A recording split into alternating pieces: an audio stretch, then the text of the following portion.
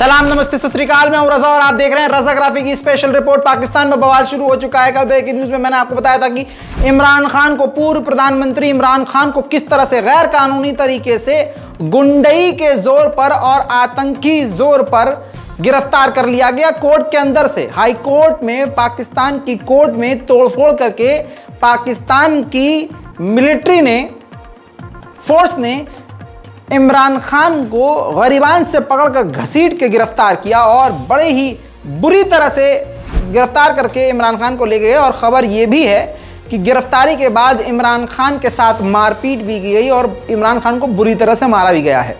ये बात साफ़ है कि पाकिस्तान के इमरान खान को अब कत्ल कर दिया जाएगा क्योंकि शहबाज शरीफ की सरकार और विरोधियों के लिए जो दूसरी पार्टीज़ हैं, उनके लिए एक अकेला इमरान खान काफ़ी ज़्यादा भारी पड़ रहा था। ऐसे में पाकिस्तान की ज़्यादातर आवाम पहले से ही इमरान खान के साथ नज़र आ रही थी।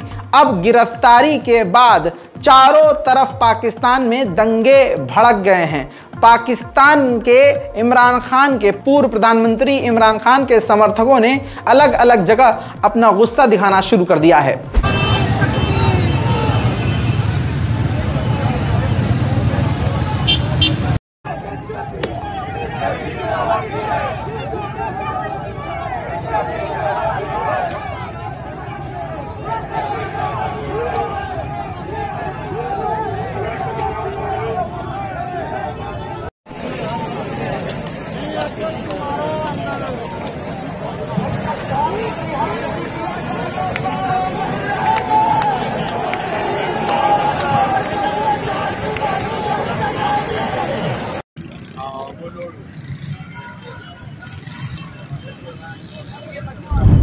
दोस्तों, इतना ही नहीं, ये दंगे कोई छोटे मोटे नहीं थे। पाकिस्तान के, इमरान खान के जो समर्थक हैं, वो कोई छोटे मोटे नहीं हैं। काफ़ी ज़्यादा हिम्मत रखने वाले हैं और उन्होंने पहले ही कह दिया था कि इमरान खान हमारी रेड लाइन है। और ये पाकिस्तान की नचनिया सरकार को, ये जो अभी शहबाज शरीफ की नचनिया सरकार है, इसको अच्छे से मालूम था कि अगर हम हाथ इमरान खान पर डालेंगे तो फिर क्या होगा? लेकिन इसके बावजूद इमरान खान को गैर कानूनी तरीके से गुंडई के अंतर्गत गिरफ़्तार किया गया। लेकिन इसके बाद पाकिस्तान के जो इमरान खान के समर्थक हैं, उन्होंने इसका जवाब देना शुरू कर दिया। आईएसआई के अधिकारी, जो खुफिया एजेंसी में काम करने वाले सीनियर अफसर हैं, जिस कॉलोनी और जिस जगह उनके मकानात हैं, वहाँ दंगे शुरू हो गए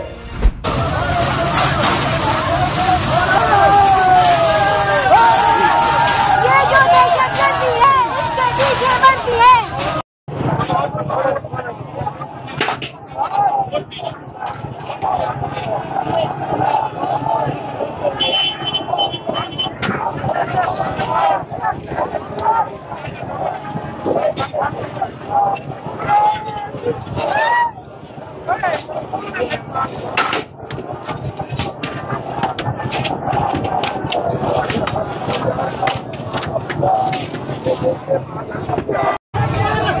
अवाम कोर कमांडर घर का दरवाज़ा तोड़ के मेन अंदर दाखिल हो गई है। ये देख ले। कहा था इमरान खान को ना छेड़ना, सर? सर, आपको कहा था इमरान खान को ना छेड़ना? कहा था इमरान खान को ना सारा सामान अंदर ला अंदर जाकर देखे अंदर आइए देखें क्या असर किया। और कमांडर ऑफ़िस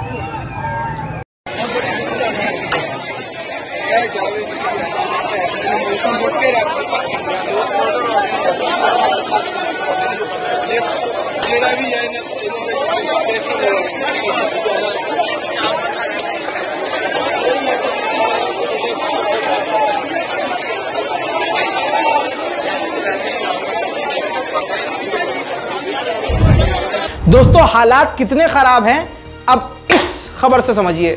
ये देखिए, पाकिस्तान के मयानवाली एयरफोर्स बेस में जे सिक्स फाइटर जेट का जो पुतला था, जनता ने पाकिस्तान की आवाम ने उस तक को फूक दिया।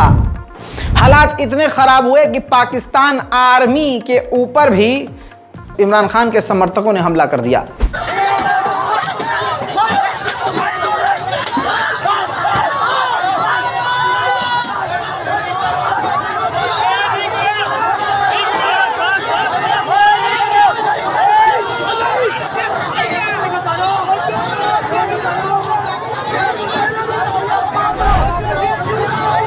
ज़ाहिर है कि पाकिस्तान की आर्मी और आईएसआई की मिली भगत से पूर्व प्रधानमंत्री इमरान खान को गिरफ़्तार किया गया और अब शायद ही उनको ज़िंदा छोड़ा जाए। यह बात पहले से बताई जा रही थी, अंदेशा जिस बात का लगाया जा रहा था कि इनको गिरफ़्तार करके मारा जा सकता है या सीधा गोली मारी जा सकती है। आप देखिए कि इस व्यक्ति को इमरान खान को पहले गोली मारी गई, जान से मारने की कोशिश की गई। पूरी दुनिया को पता चल गया कि इमरान खान को गोली मारी गई है और इसकी जान खतरे में है। लेकिन इंसाफ मिलने के बजाय हुआ ये कि उस व्यक्ति को और गिरफ़्तार कर लिया। अब इसके बाद दंगे तो होने ही थे।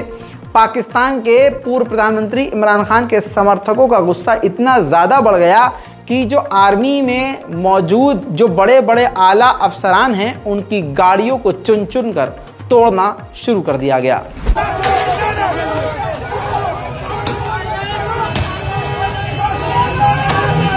देखें ये पुलिस वाला है, इसके हाथ में पुलिस का डंडा है।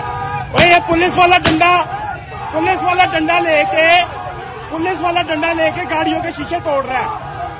पुलिस का मुलाजिम है। ये देखे, पुलिस वाला डंडा, पुलिस वाला डंडा, पुलिस वाला डंडा लेके दोस्तों, इतना ही नहीं, ये तो बहुत छोटी सी बात है। अब इससे बड़ी बात बताता हूँ आपको। पाकिस्तान मिलिट्री के कमांडर तक के घर के अंदर ये भीड़ घुस गई और घर के अंदर तोड़फोड़ मचाना शुरू कर दिया।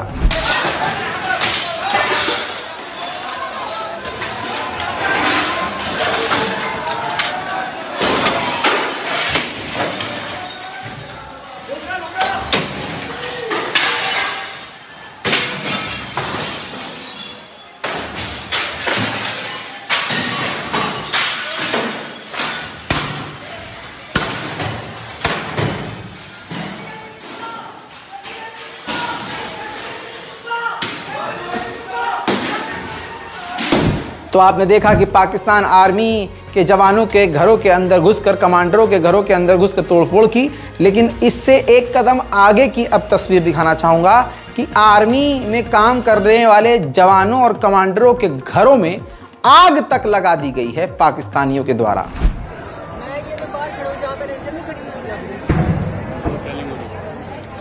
ये बिल्कुल, ये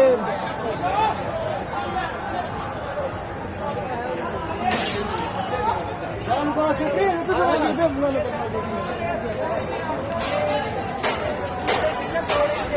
गवर्नर हाउस की, ये लाहौर गवर्नर हाउस है आप देख सकती हैं यंगस्टर्स में इतना ज़्यादा गुस्सा है कि इस तरह के वीडियोस आज तक पाकिस्तान में देखने को नहीं मिले। और हमारे लोग पता नहीं क्यों नहीं समझते, जब ये लोग ही आपके साथ नहीं देंगे तो कौन आपका साथ देगा?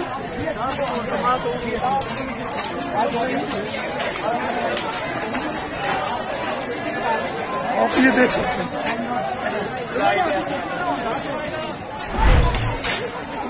अब इन तमाम खतरनाक तस्वीरों के बाद आपको क्या लगता है कि हालात नॉर्मल होंगे? नहीं पाकिस्तान आर्मी की तरफ़ से इन प्रदर्शनकारियों पर एहतजाज करने वाली भीड़ पर गोलीबारी की गई। बिल्कुल ओपन फायर किया गया जिसमें खबर यह आ रही है कि अब तक 12 लोगों की मौत हो चुकी है।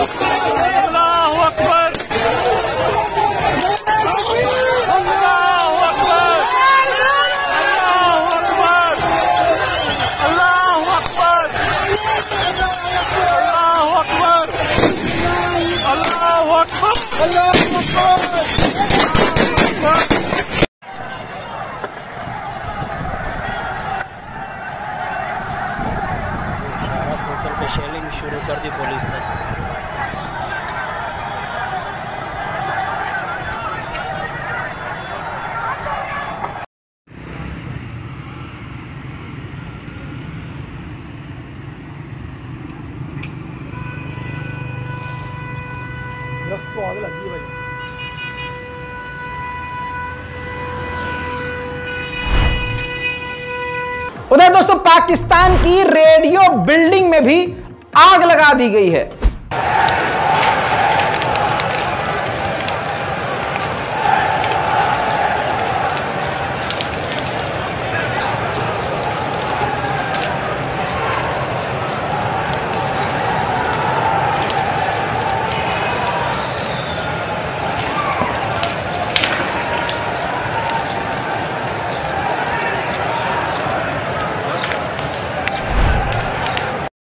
दोस्तों, पाकिस्तान की आर्मी की अब पतलून फटने वाली है, क्योंकि पाकिस्तान की आर्मी ने अपने ही जनता के साथ गद्दारी जैसा सलूक कर दिया है। कल तक जो पाकिस्तान की आर्मी से प्यार करता था, अब वो बंदा खुद पाकिस्तान आर्मी के चेक पॉइंट जला रहा है और अपने मुँह से खुद कह रहा है कि कल तक मैं पाकिस्तान की आर्मी से मोहब्बत करता था, लेकिन आज ये वार्निंग है पाकिस्तान आर्मी को। देखिए, जिस शख्स ने पूरा आर्मी का पाकिस्तान आर्मी का चेक पॉइंट ही जला दिया। आसिम मुनीर के लिए पैगाम है। मेरी शक्ल देख लो आसिम मुनीर। ये चौकी मैंने जलाई है। ये चौकी मैंने जलाई है। बहत्तर साल तक मैं पाकिस्तान के कौन से मोहब्बत करता था ये देश मैंने जलाई है। सुन ला आसिम मुनीर। ये बाजदा की बाकियात ये इसको समझ लो ये वाजिब है आसिम मुनीर हम इसी तरह देख लो! आसिम मुनीर हम इसी तरह तेरा जीएचक्यू चलाएँगे? सुन ले फतवे चलाइए मैं इकरार करता हूँ लगा दे फांसी में इंशाल्लाह। तुझे होना चाहिए था वो भारत की सरहदों में। मगर तू हमारे खिलाफ आ गया है। आसिम मुनीर तू तल्ला है वायरल वायरल करो उसको मेरी शक्ल देख लो नहीं नहीं कोई पॉजिटिव नहीं होगा। कोई पॉजिटिव नहीं होगा। नहीं नहीं अवाम है हम अवाम है हमारा कोई उससे ताल्लुक नहीं है हम अवाम है मेरे इस बात को तुम ये समझ लो कि ये वार्निंग है कहीं ऐसा वक्त ना आए कि तुम हमारे खिलाफ हो और पब्लिक तुम्हारे जीएच को की तरफ़ रवाना हो। यही होगा पब्लिक जाएगी जीएचक्यू की तरफ़। इंशाल्लाह। इंशाल्लाह। चौकी जलाइए आसिम मुनीर अपनी खैर बना। पाकिस्तान में इस वक्त जो कुछ भी हो रहा है वहाँ जो आवाम कर रही है प्रदर्शनकारी जो कर रहे हैं वो गलत नहीं है।